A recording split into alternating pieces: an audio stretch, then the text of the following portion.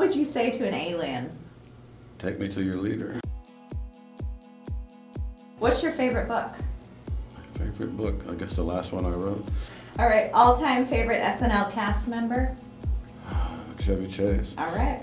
What's your eighth wonder of the world? Eighth, I guess my wife. What could you not live without? Guess a Mac. okay. What rhymes with mule? Dual. Left or right? Left. Okay. What do you buy with a million dollars? Uh, bonds. Okay. Must see TV show. Better call Saul. awesome. Uh, what would be your superpower? X-ray vision. Okay. Any hidden talents? Uh, I can I can see through you right now.